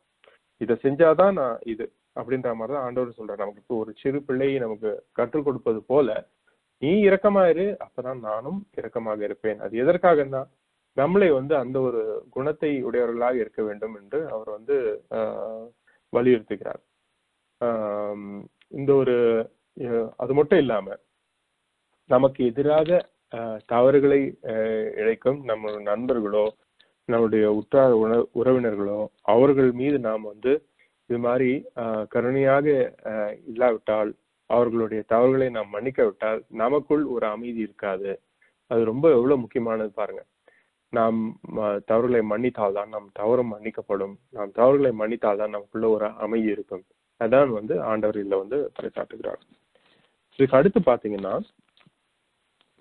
இருதயத்தில் சுத்த குணம் உள்ளவர்கள் பாகியவான்கள் அவர்கள் தேவனை தரிசிப்பார்கள் அப்படின்னு சொல்லுது. இதுக்கு வந்து முக்கியமா எனக்கு வந்து ஒரு ஒரு எடுத்துக்காட்டு தேடியும் பார்த்தேன். எனக்கு வந்து அவ்வளவு எளிதாக ஒரு எடுத்துக்காட்டு வரல. ஒரு ஒரு ஒரு புறா ஒரு வெண்புறா பறக்கிறது. அது எவ்வளவு மென்மையா வெண்மையா இருக்கிறது. இந்த பியோர்ன்றதுக்கு எப்படி நம்ம குழந்தைகளை விட்டா எனக்கு வந்து அதை விட வேறு எந்த ஒரு எடுத்துக்காட்டும் வரல. நம்ம பண்டங்களாக இருக்கட்டும் இது இருந்தாலும் நம்ம தூய்மையா இருக்க வேண்டும். இது இருந்தாலும் நம்ம வந்து ஏதோ there be some kind of adulteration of pollution அதுக்கு நேராக வந்து இந்த ஒரு கமெண்ட்ரியில் என்ன சொல்றாங்கன்னா அமைதியை நாடுபவர்கள் தான் இதுல வந்து நேராக வந்து காட்டுகிறது. Blessed are those who whose hearts are pure, they will see God, not only in the worldly perception of faith, but also in the glory of heaven. அது உலகத்தில் மட்டும் இல்லை அந்த ஒரு நம் நாம் ஆண்டவர் மீது வைத்திருக்கும் நம்பிக்கையின் மட்டும் இல்லை பரலோகத்திலும் வந்து ஆண்டவர் வந்து நம்மை காண முடியும் அப்படின்னு சொல்றாங்க. ஆண்டவரை காண்பது அப்படின்னு நம்ம வந்து வேதத்தில் பார்த்தீங்கன்னா அது மோசோ மோசையோட அவரோட காலகட்டங்களிலாக இருந்தாலும் சரி முன் அதற்கு முன்பாக இருந்தாலும் சரி ஆண்டவரை குறித்து அவர்களுக்கு வந்து ஒரு ஒரு ஒரு டிஸ்கிரிப்ஷனே பண்ண முடியாது. ஒரு பவர் ஒரு ஆம்னி பொட்டன்ட் அப்படின்னு சொல்லுவாங்களே தவிர ஆண்டவர் வந்து என்னை போல ஒரு தோற்றத்தோடு இருந்தார் அப்படின்னு வந்து மோசையாலும் அந்த அந்த ஒரு காட்சி இல்லை. ஏன்னா ஆண்டவருக்கும் நமக்கும் ஒரு பெரிய இடைவேளை இருக்கிறது. நாம் வந்து பாதைகள் நமக்கு அவர் வந்து ரட்சிப்பை இவா கொடுத்திருக்கிறார். இப்போ மோசே கூட அவர் காட்சியளித்தது வந்து ஒரு அக்னியாய் தான் அந்த ஒரு எரியும் முற்செடி போலதான் வந்து காட்சியளிக்கிறார். ஒரு ஒரு மின்னலை போலதான் அவர் வந்து காட்சியளிக்கிறாரே தவிர காண முடியலை. காண முடியுது. ஆண்டவரை காண்பது என்பது வந்து நாம் வந்து ஒரு இங்க காண்பது என்பதை வந்து உணர்வது என்று கூட பொருளை எடுத்துக்கொள்ளலாம் இந்த நமக்கு உலக பிரகாரமாக பிரகாரமாக பார்த்தாக்கா இயேசு கிறிஸ்துவை வந்து அந்த நாட்களில் வந்து அவர்கள் எல்லாருமே கண்டார்கள். அவர்கள் பிறந்த விதமா பாருங்க. எவ்வளவு எளிமையான ஒரு பிறப்பு பாருங்க. அவங்க தாய் தந்தையினர் உலக பிரகாரமான இருந்த தாய் தந்தையினர் மரியா மரியாள் அப்புறம் வந்து ஜோசப் அவரை வந்து ஒரு ஆட்டு தொழுவத்தில் இந்த ஒரு அவர் பிறந்த விதம் அவர்கள் வந்து அந்த ஒரு இந்த மெஜாய்ஸ் அவங்க வந்து அவர்கள் வந்து தரிசித்து விட்டு போன விதம் எவ்வளோ ஒரு பியூர்னஸ் பாருங்க. அந்த ஒரு சின்ன ஒரு குழந்தை அவர்களே ஒரு ஒரு தாய் தன் குழந்தையை எவ்வாறு பராம பராமரிக்க பராமரிக்கிறாள் அப்புறம் வந்து ஒரு தந்தை எவ்வாறு தன் குழந்தையை வந்து நேசிக்கிறாள் இல்லை எவ்வளோ ஒரு பியூர்னஸ் பாருங்க. அவங்க வந்து ஒரு ரொம்ப கொடியவர்களாக இருந்தாலும் வந்து ஒரு தீங்கு செய்ய முடியாது அவங்களால. ஸோ அந்த மாதிரி ஒரு பியூரிட்டி தான் நமக்கு இருக்கணும். நம்ம எதிரிகளே வந்தாலும் நம்ம வந்து அவங்களுக்காக பிரார்த்திக்கணும். அவர்களோட நன்மைக்காக நடக்கணும். அந்த ஒரு தூய்மை நம்ம கிட்ட இருக்கணும். நம்ம பேசும்போது கூட நம்ம உண்மையை பேசணும். அடுத்த ஒரு வித தீங்கி இழைக்கக்கூடிய சொற்களை நம்ம வந்து பேசவே கூடாது. அது மாதிரி நிறைய விஷயங்கள் நாம் வந்து தூய்மையாக இருப்போமானால் நாம் வந்து இறைவனை தசை தரிசிப்போம். செய்யும் வேலைகளில் நாம் தூய்மையாக இருப்போமானால் நாம் தெய்வனை தரிசிப்போம் அப்படின்ற ஒரு விஷயங்களை வந்து ஆண்டவர் இங்க வந்து சொல்றாரு.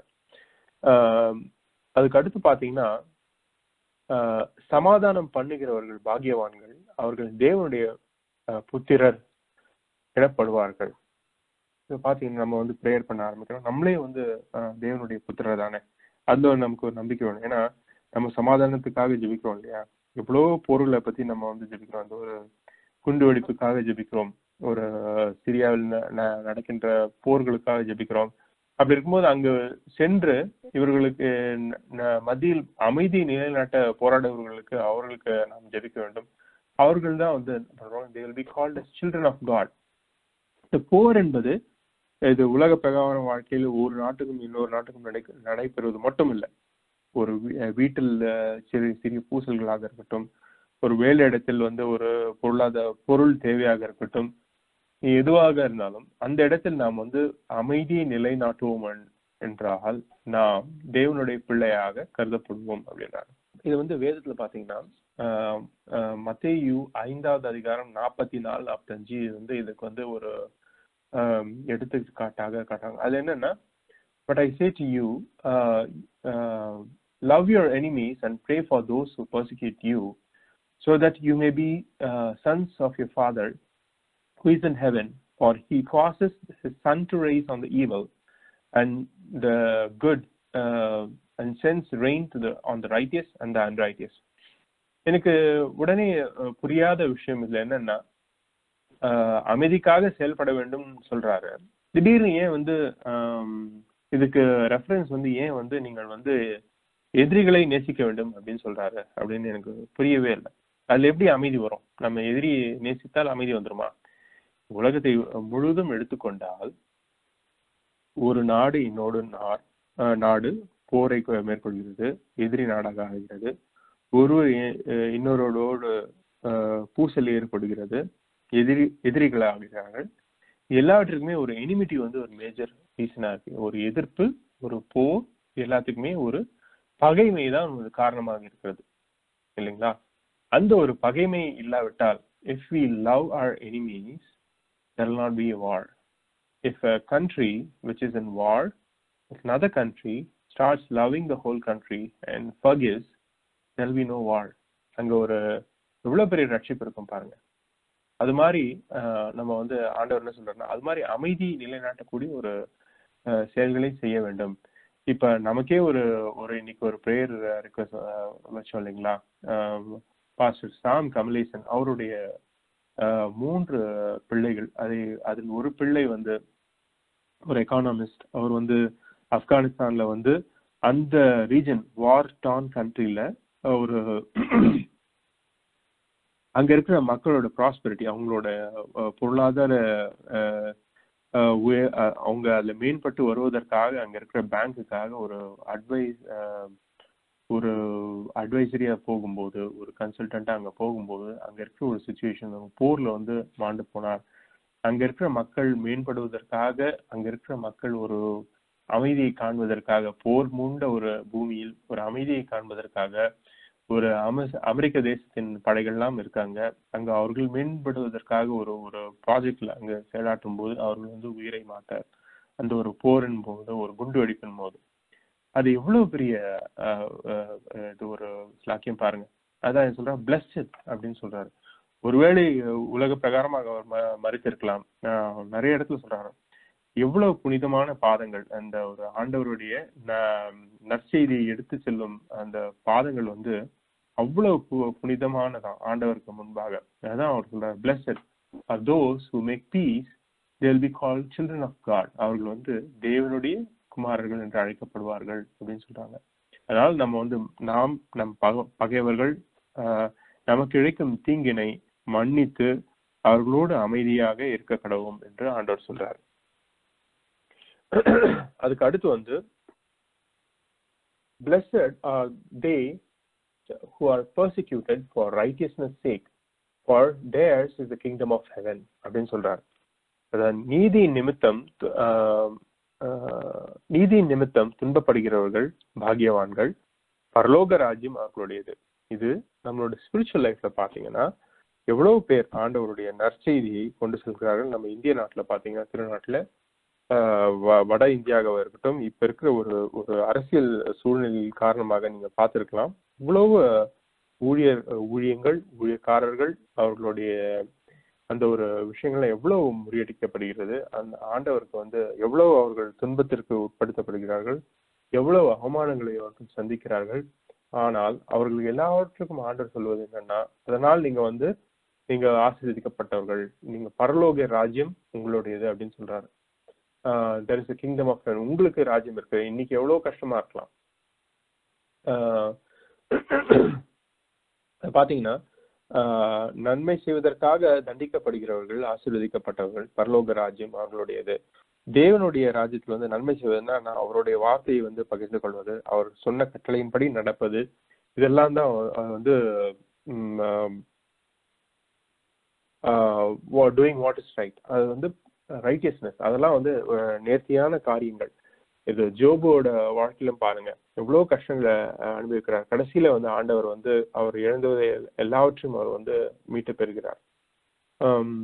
இதை இதை இவ்வாறு செய்வதன் நிமித்தம் நாம் வந்து நம்மளை வந்து இகழ்வார்கள். நம்மளை வந்து ஆஸ்ட்ரசைஸ் பண்ணுவாங்க. நம்மளை வந்து புறக்கணிப்பார்கள். நம்மளை தள்ளி வைப்பார்கள். நம்மளை வந்து துர்மார்க்கமான வார்த்தைகளை பயன்படுத்தி நம்மளை வந்து இன்சல் செய்யலாம்.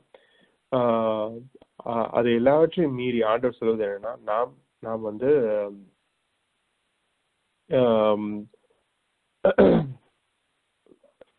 அதான் நம்ம ஆசீர்வதிக்கப்பட்டவர்கள் என்று ஆண்டவர் கூறுகிறார்.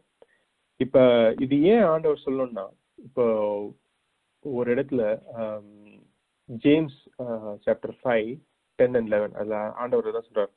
Brothers and sisters as an example of patience in the face of suffering take the prophets who spoke in the name of the lord as you know we count as blessed those who ha- have preserved, persevered you have heard of Job's perseverance and have seen what the Lord finally brought about. The Lord is full of compassion and mercy. எவ்வளவு துன்பப்பட்டாலும் ஒரு Graham stains அவரோட வாழ்க்கையை எடுத்துக்கொள்ளுங்கள் எவ்வளவு ஊழியர்கள் நம்ம தென்னிந்தியாவில் இப்பெல்லாம் வந்து ரொம்ப ஆஹ், கண்கூடா காண ஆரம்பித்து விட்டோம் ஒரு ஒரு வேதத்தை எரிப்பவர்கள். இத இதன் மத்தியில அந்த ஒரு ஊழியர்கள் அந்த படும் பாடுகள் அவமானங்களை பாருங்க. வர்ற காணொளியில எல்லாம் வந்து அவங்க அமைதியாவே இருப்பாங்க. அவங்கள வந்து ஒரு கொடிய வார்த்தைகள்லாம் பயன்படுத்துறாங்க. இருந்தாலும் அவங்க அமைதியா இருக்காங்க. அது எதனால இருக்க முடியுது? நான் நமக்கு ஆண்டவர் கொடுத்த கட்டளை இதுவே. நான் அவ்வாறு நடக்கும்போது அவருடைய வார்த்தையை நற்செய்தியை கொண்டு செல்லும் போது நமக்கு இன்னல்கள் ஏற்பட்டால் அதனால் நாம் த- துன்பங்களை சந்திப்போ சந்திப்போமானால் நாம் ஆசீர்வதிக்கப்பட்டவர்கள். இது ஏன் சொல்ல வேண்டும்னா நம்ம இந்த இந்த கட்டளை ஆண்டவர் சொல்லனா நமக்கு என்ன ஆகும்னா நமக்கு அதில் அதனால வர துன்பங்கள்னால் நம்ம வந்து will retract we might not we might yield to it either will die or we might stop doing that அதெல்லாம் மீறி ஆண்டவர் கொடுக்குற வார்த்தை இதுதான். இது வந்து வார்த்தை ரொம்ப உண்மையானது. நாம் வந்து ஆசீர்வதிக்கப்பட்டவர்கள். அப்படி ஒருவேளை நடந்தது என்றால் நம்ம ஜபிக்கிறோம் எல்லாருக்காகவும். இதையும் மீறி ஆண்டவர் அவர்களுக்கு கொடுக்க வேண்டிய பெரிய பொக்கிஷம் என்னன்னா அவர்கள் ஆசீர்வதிக்கப்பட்டவர்கள். ஆண்டவருடைய வார்த்தையை சொல்லும்போது ஆண்டவர் சொன்னிய க- சொன்ன கட்டளையின்படி அவர் நடக்கும் போது நாம் ஆசீர்வதிக்கப்பட்டவர்களாக இருப்போம். அதன் மூலம் எந்த ஒரு துன்பங்கள் துயரங்கள் ஏற்பட்டாலும் ஒருவேளை நம் உயிரையே மாய்க்க வேண்டிய ஒரு தருணம் வந்தாலும் நாம் ஆசீர்வதிக்கப்பட்டவர்களாக இருப்போம். பரலோக ராஜ்யம் நமது என்று ஆண்டவர் கூறுகிறார். அடுத்து பார்த்தோம்னா என் நிமித்தம் உங்களை நிந்தித்து துன்பப்படுத்தி பலவித தீமையான மொழிகளையும் உங்கள் பேரில் பொய்யாய் சொல்வார்களானால் பாகியவான்களாய் இருப்பீர்கள் அப்படின்னு சொல்றாங்க பிளஸட் நீங்க அவ- கவலையே பட வேண்டாம். என் நிமித்தம் உங்க ஆண்டவர் சொல்ற மாதிரி நம்ம அமைதியா இருக்கலாம். இப்போ வந்து இந்த நாடாக இருக்கட்டும் நம்ம பிறந்த இந்திய நாடாக இருக்கட்டும் ஒருவேளை நம்ம நமக்கு இழைக்கப்பட்ட தீங்குக்கு எதிராக நாம் குரல் கொடுக்காமல் எதிர்த்து போகாமல் ஆண்டவரை ஜெபித்து அவருடைய அன்பை பறைசாற்றுவோமானால் நாமே ஆசீர்வதிக்கப்பட்டவர்களாக இருப்போம். அப்படின்னு ஆண்டவர் சொல்றார். அதன் நிமித்தம் நாம் வந்து அவர்களுக்கு வந்து ஒரு சாட்சியா இருப்போம். ஆண்டவருக்கு ஆண்டவருக்கு நாம் சாட்சியா இருப்போம். நிறைய விஷயங்கள் நம்ம பார்த்தோம்னா உலக உலகத்தின் இயல்பு என்ன?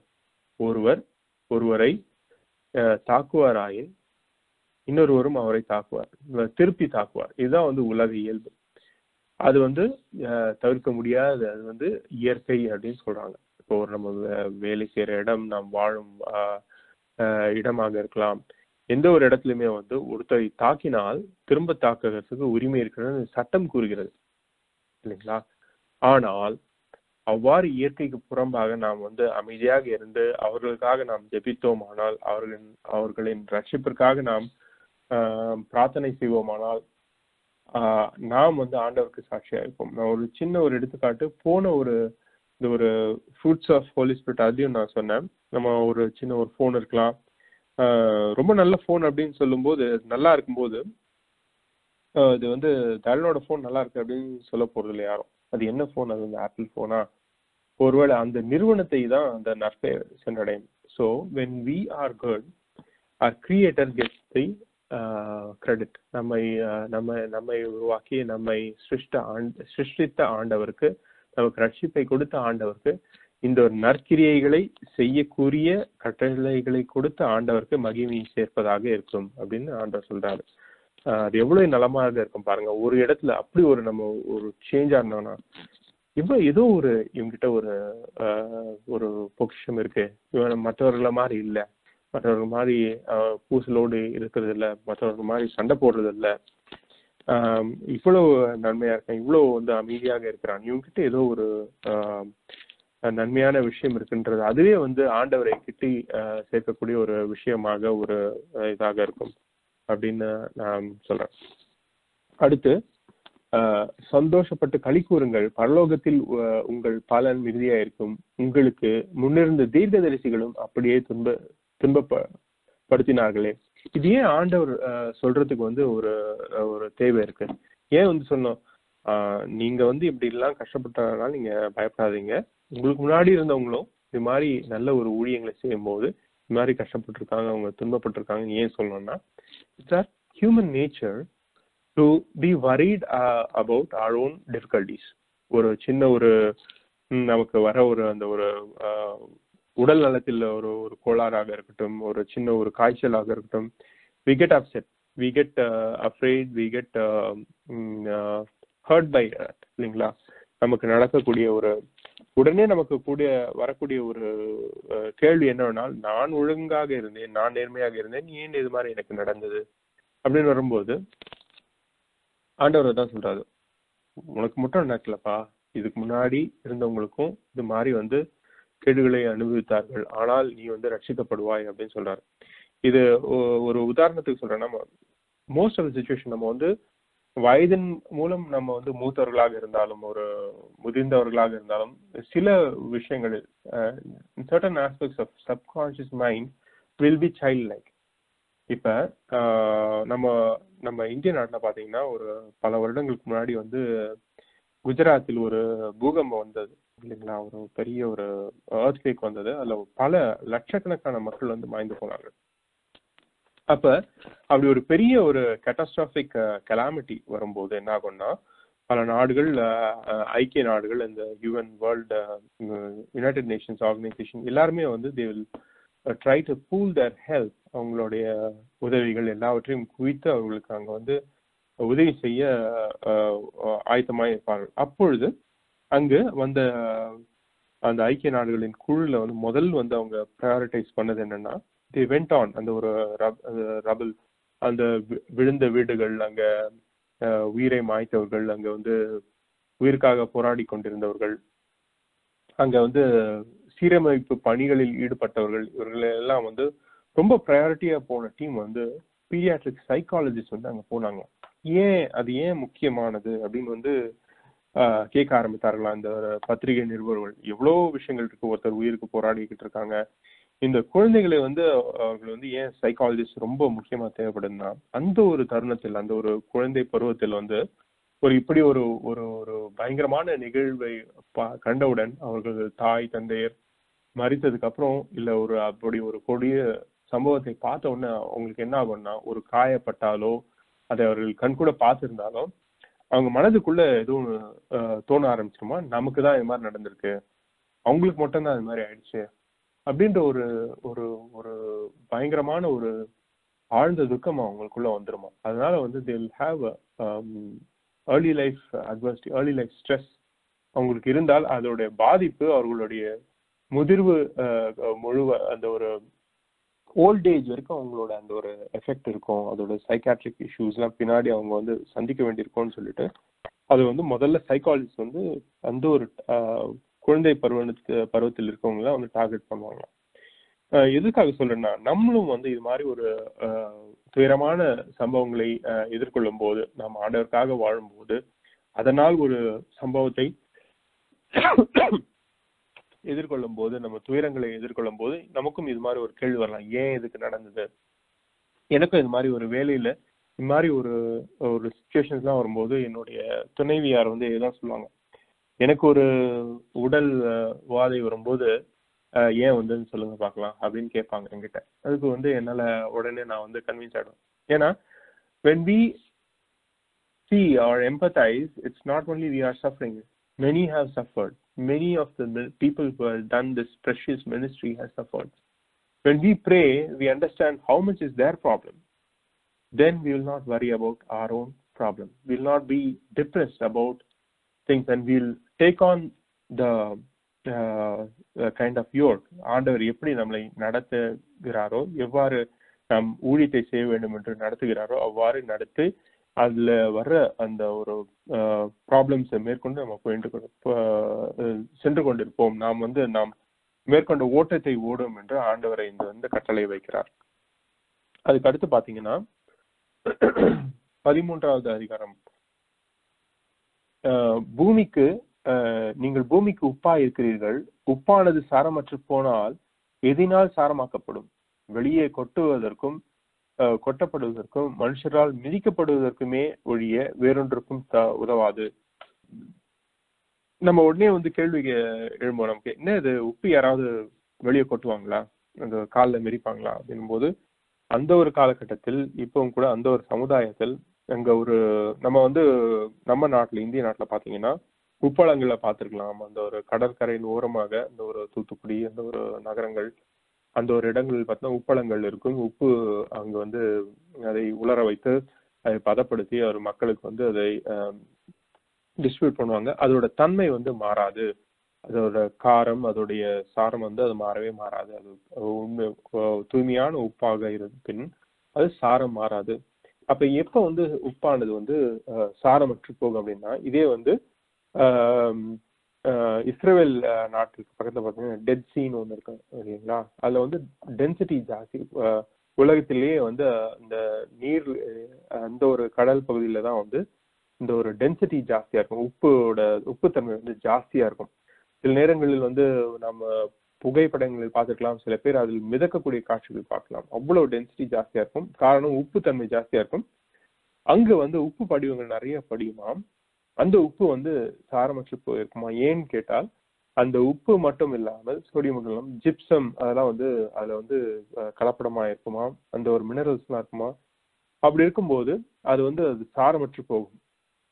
எதுக்காக இந்த உ- எடுத்துக்காட்டை வைக்கிறார்கள் என்றால் அப்படிப்பட்ட உப்பு வந்து அது உணவை பட பதப்படுத்தவோ அதை வந்து நான் உணவை உணவில் சேர்த்துக்கொள்ளவோ முடியாது. அது ஒரு வழி ப- வழியில் வந்து ஒரு வரப்புகளில் அந்த ஒரு பாதைகளில் வந்து அந்த ஒரு புல் பூண்டு முளைக்காமல் இருக்க அந்த உப்பை வந்து அங்க போடுவாங்களாம். அது வந்து காலில் மெரிப்பதற்கு அது மாதிரி இதை ஆண்டவர் எதுக்கு சொல்கிறார்கள் என்றால் நாம் வந்து ஆண்டவர் நமக்கு கொடுத்த தாளந்துகள் நமக்கு கொடுத்த கட்டளைகள் நமக்கு கொடுத்த ரட்சிப்பு அதன் நிமித்தம் நமக்கு நடத்தப்பட் நாம் நடக்க வேண்டிய வழிகள் இதன்படி நாம் நடக்காவிட்டால் நாம் ஒரு கிறிஸ்துவ வாழ்க்கையை வாழாவிட்டால் நாம் அன்போடு இல்லாவிட்டால் நாம் பணிவோடு இல்லாவிட்டால் நேம் நாம் நேர்மையோடு இல்லாவிட்டால் நாம் நமக்கு அர்ப்பணிக்கப்பட்ட கிரியைகளை நாம் செய்யா செய்யாமல் இருப்போமானால் நமக்கு நியமிக்கப்பட்ட வேலைகளை நாம் செய்யாமல் இருப்போமானால் உம், நாம் வந்து சாரமற்ற உப்பு போல் ஆகிவிடுவோம் அப்படின்னு சொல்றாரு நாம் வந்து கிறிஸ்துவர்கள் நாம் வந்து உப்பா இருப்போம் இந்த ஒரு பூமியில வந்து உப்பா இருப்போம் மற்றவர்களுக்கு வந்து ஒரு ஆ- ஆண்டவருடைய வார்த்தை கூறுவதாக இருக்கட்டும் ஆண்டவர் கூறிய வழியின்படி நடப்பதாக இருக்கட்டும் அப்படி நடப்பதினால் மற்றவர்களுக்கு ஆண்டவரின் ரட்சிப்பை பிரதிபலிப்பவர்களாக இருக்கட்டும் இ- இதில் எல்லாவற்றிலும் நாம் வந்து அந்த உப்பு போல நாம் வந்து தூய்மை தூய்மை உள்ளவர்களாக இருந்து நாம் அது சாரமற்று போகாமல் இரு- இருப்போமானால் நாம் வந்து மற்றவர்களுக்கு பயனுள்ளவர்களாக இருப்போம் என்று ஆண்டவர் கூறுகிறார். இல்ல எவ்வளவு விஷயங்கள் இருக்குங்க நம்ம செய்யற வேலைகள். உதாரணத்துக்கு நான் வந்து என்னுடைய என்னுடைய சுபாவம் என்னன்னு கேட்டிங்கன்னா ரொம்ப பயந்தவனாக இருப்பேன் சில நிறைய விஷயங்களில். சபார்டினேஷன்லேயே நம்ம இந்தியன்ஸ் இந்தியாவில் வந்து நான் இருக்கும்போது நம்மளோட சுப்பீரியர்ஸ் நம்மளுடைய மேலே இருக்க அதிகாரிகளுக்கு பயந்தவனாகவே இருப்பேன். அவ்வாறாகவே இருக்கும்போது இந்த நாட்டில் ரொம்ப நம்ம ஒரு மாற்றத்தை காண்போம். ஒரு ஒரு வேலை செய்கிற இடத்தில் ஒரு ஆய்வகத்தில் வேலை செய்யும் போது நாம் வந்து பயப்படாமல் நாம் நாம் என்ன நினைக்கிறோமோ நாம் நடத்துகிற ஆய்வுகளில் நமக்கு என்ன ஒரு தேர்வு நடத்திய தேர்வுகளில் என்ன ஒரு ரிசல்ட்ஸ் வருதோ பயப்படாமல் உரைக்கக்கூடிய அந்த ஒரு ஜனநாயகத்தை நாம் பார்க்கிறோம்.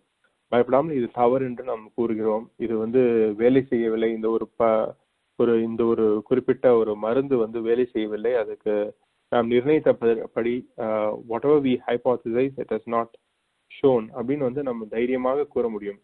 அப்படி நம்ம கூறாமல் நாம் வந்து அப்படி சொல்லாம நம்ம பயந்து ஒருவேளை வேலைக்கோ ஒருவேளை நம்ம இருக்கிற ஒரு நம்ம ஜீவியத்துக்கோ பயந்து நாம் வந்து அதை வந்து அப்படியே விட்டுட்டோம்னா அந்த வாழ்க்கை எப்படி இருக்கும் பாருங்க. உப்பானது சாரமற்று போனால் இன்னொரு உதாரணத்துக்கு சொல்லி கேட்டிங்கன்னா நண்பர்கள் சொல்லியிருக்காங்க. இங்கே நம்ம இந்தியர்கள் இங்கே வந்து நம்ம அந்த ஒரு ஆராய்ச்சியின் வேலை நிமித்தம் வந்து நமக்கு ஆண்டவர் கொடுத்த தாளந்துகள் நிமித்தம் நாம் வந்து இந்த நாட்டின் குடியுரிமையை பெற்று நாம் இதே பணியை நாம் தொடர்வோம். இதே வகையில் நாம் வந்து சிறந்தவர்களாக இருப்போம். இதை விட மேன்மையான வேலைகளை செய்வோம் என்ற ஒரு கோட்டுப்பாடு கோட்பாடுக்கு இணங்க நாம் அந்த ஒரு குடியுரிமையை பெற்று அதற்கப்புறம் நிறைய நண்பர்கள் நான் கேள்விப்பட்டிருக்கேன். அவங்க என்ன பண்ணுவாங்களாம் சரி குடியுரிமை வாங்கியாச்சு. அப்புறம் என்ன? அப்புறம் வந்து அவர்களுக்கு எவ்வளவு நல்ல ஒரு நல்ல பணி பண மதிப்புள்ள வேலைகளை நாடி செல்வார்களாம். சிலர் வந்து வேலையே செய்யாம கூட இந்த ஒரு பெனிஃபிட்ஸை வாங்கி அரசாங்கம் கொடுக்கின்ற ஒரு பெனிஃபிட்ஸை கொடுத்து வைத்துக்கொண்டு கொஞ்ச நாள் அப்படியே இருப்பாங்க அது எவ்வளவு இழுக்கானது பாருங்க. அப்போ எனக்கு தோன்றதெல்லாம் இந்த ஒரு வாக்கியம் தான் உப்பானது சாரமற்று போனால் நாம் ஒரு வேலை செய்கிறோம் அதில் நேர்மையாக இல்லைனால் உப்பானது சாரமற்று போனால் நாம் ரட்சிப்பை தரித்தோம் நாம் ஆண்ட விலை மதிப்பற்ற ஒரு ரட்சிப்பை பெற்றோம் ஆண்டவரின் நல்வார்த்தை நற்செய்தியை நாம் வந்து அடுத்தவர்களுக்கு கூறாமல் இருப்போமானால் அது எவ்வாறாக இருக்கும்? உப்பானது சாரமற்று போனால் ஒருவேளை நாம் வந்து ஆண்டவர் கொடுத்த கட்டளை இணங்க நடக்காமல் நாம் வந்து இஷ்டமான ஜீவித்தை ஜீவித்து நாம் வந்து நம்மை காண்பவர்கள் இவர்கள் பெயர் கிறிஸ்தவர்கள் என்று கூறினால் நம் வாழ்க்கை எவ்வாக இருக்கும்? உப்பாக சாரமற்று போனால். இது மாதிரி எவ்வளவு விஷயங்கள் நம்ம வந்து நாம் ஆண்டவருடைய கட்டளைகளை ஏற்றுக்கொண்டு அதை மனதில் வைத்துக்கொண்டு நாம் வந்து செய்யும் வேலைகளில் வந்து நாம் நேர்த்தியாக இருக்க வேண்டும். உலக வாழ்க்கையிலும் சரி ஆன்மீக வாழ்க்கையிலும் சரி நாம் வந்து எல்லாம் வந்து நமக்கு வந்து அடுத்தவர்களுக்கு வந்து பயனுள்ளவர்களாக இருக்க வேண்டும் என்று ஆண்டவர் கூறுகிறார். அடுத்து வந்து நீங்கள் உலகத்துக்கு வெளிச்சமாய் இருக்கிறீர்கள். மலையின் மேல் இருக்கிற பட்டணம் மறைந்திருக்க மாட்டாது. இது வந்து எதை பற்றி ஆண்டவர் கூறுகிறார் என்று உங்களுக்கு தெரியும். நமக்கு கிடைக்கப்பட்ட இந்த ரட்சிப்பு நம்ம மற்றவர்களுக்கு பகிராமல் நம்ம வந்து நம்மளே முடி வச்சுக்கிட்டு ஆண்டவர் நல்லது செஞ்சார். நான் கட்டளைகளை கொடுத்துருக்கார். நான் நல்லவனா இருக்கேன். நான் இதன்படி நடக்கிறேன். எந்த கஷ்டம் வந்தாலும் நான் அதை சமாளிக்கிறேன். நான் தேர்ச்சியானவனா இருக்கேன்.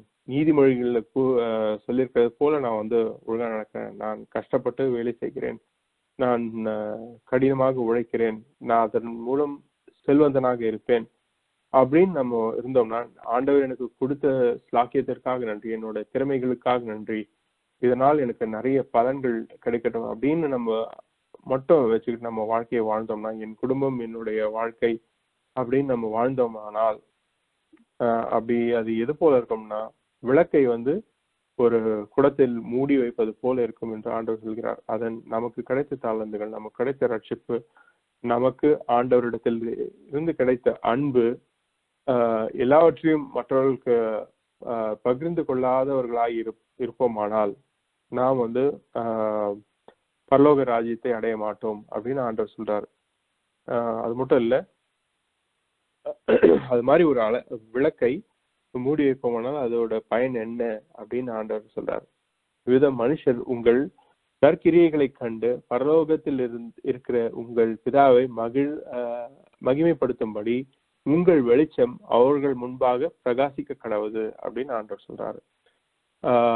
இதெல்லாம் சொல்லிட்டு ஆண்டவர் முக்கியமா என்ன சொல்றாருன்னா வசனம் ஐந்து பத்து ஐந்தாவது அதிகாரம் பதினேழாவது வசனம் நியாயப்பிரமாணத்தின் நியாயப்பிரமாணத்தை ஆனாலும் தீர்க்க தரிசனங்களை ஆனாலும் அழிப்பதற்கே அழிப்பதற்கு வந்தேன் என்று எண்ணிக்கொள்ளாதீங்கள் அழி அழிக்கிறதற்கு அல்ல நிறைவேற்றுவதற்கே வந்தேன். ஏன்னா அந்த ஒரு காலகட்டத்துல யூதர்கள் வந்து இப்படி ஒரு பிரசங்கி யோவான் ஸ்டான் கிட்ட ஒரு ஒரு ஞானஸ்தானம் பெற்று இப்படி வந்து அற்புதங்களை நி- நிகழ்த்தி கொண்டு அந்த பகுதிகளில் வந்து வரும்போது இவர் ஒரு பொய் தீர்க்கதரிசி அப்படின்ற ஒரு இதோட வந்து இவர் கூறும் எல்லா விஷயங்களும் வந்து அவர்கள் வைத்திருந்த பழைய ஏற்பாட்டு காலத்தில் வைத்திருந்த கோட்பாடுகளுக்கு எதிராக இருக்கிறதே அப்படின்னு வந்து பரிசீலிக்கும் போது அதை தவறு என்று ஆண்டவர் சொல்கிறார் இது எல்லாமே வந்து அதை விட மேம்பட்டதே. அதை வந்து நான் ப பறைசாற்றவே நான் வந்திருக்கிறேன் அப்படின்னு ஆண்டவர் சொல்றாரு. ஸோ அதுக்கப்புறம் என்ன சொல்றாருன்னா பதினெட்டாவது வசனத்துல வானமும் பூனும் பூமியும் ஒழிந்து போனாலும் நியாய நியாயப்பிரமாணத்தில் உள்ள எல்லாம் நிறைவேறும் நிறைவேறும் அளவும் அதில் ஒரு சிறு எழுத்தாகிலும் ஒரு எழுத்தின் உருபாகிலும் ஒழிந்து போகாது என்று மெய்யாகவே உங்களுக்கு சொல்லுகிறேன். Truly truly I tell to you அப்படின்றார் ஆண்டவர். அவ்வளவு ஊர்ஜிதமான வார்த்தைகள் அவ்வளவு ரொம்ப உண்மையான வார்த்தைகள். இது எல்லாம் நிறைவேறும் அப்படின்னு ஆண்டவர் சொல்றார் நமக்கு. இதை நாம் மனதில் கொண்டு இது எல்லாம் உண்மை. இதில் கூறியது போல நாம் வந்து தாழ்மையுள்ளாக தாழ் உள்ளவர்களாக இருப்போம். நாம் வந்து ஆவியில் எளிமை உள்ளவர்களாக இருப்போம். நாம் தூய்மை உள்ளவர்களாக இருப்போம். சாந்த குணம் உள்ளவர்களாக இருப்போம். நாம் நீதியின் மேல் பசி தாகம் உள்ளவர்களாக இருப்போம். நாம் இரக்க குணம் உடையவர்களாக இருப்போம். இருதயத்தில் சுத்தமுள்ளவர்களாக இருப்போம். நாம் வந்து சமாதானம் பண்ணவர்களாக இருப்போம். நாம் நீதி மேல் ஆண்டவரின் நீதியின் நிமித்தம் நாம் துன்பப்பட்டாலும் நாம் வந்து இது எல்லா நிமித்தமும் நாம் வந்து பரலோக ராஜ்யத்தில் ராஜ்யத்தில் ஆசீர்வதிக்கப்பட்டவர்களாக இருப்போம் என்று ஆண்டவர் வந்து நமக்கு உரைக்கிறார். இந்த வார்த்தைகள் ஒவ்வொன்றும் மாறாது. இது வந்து அழிந்து போகாது. இதை இதை குறித்து நாம் தியானிப்போம். இதை இந்த வார்த்தைகளை நாம் ஆண்டவர் நமக்கு இன்று கொடுத்ததற்காக நாம் நன்றி கூறுவோம்.